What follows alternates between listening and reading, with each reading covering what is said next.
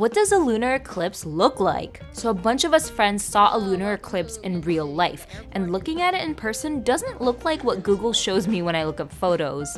So we were having a nice dinner, seated outside, and then a guy walked up to us and told us there was a lunar eclipse. So we got up in the middle of our dinner and followed him about half a street down for a better view. It was a nice full moon, and slowly we saw this film moving over it. The photos online make it look like it's super red, but from where I was looking, it didn't look red at all. It looked like someone was placing a perfectly round piece of parchment paper over the moon. And although the moon had dimmed down a lot, I could still see a faint outline of its light. That was my experience, but if you've seen a lunar eclipse before in real life and it looked different, let us know what it looked like. Was it red?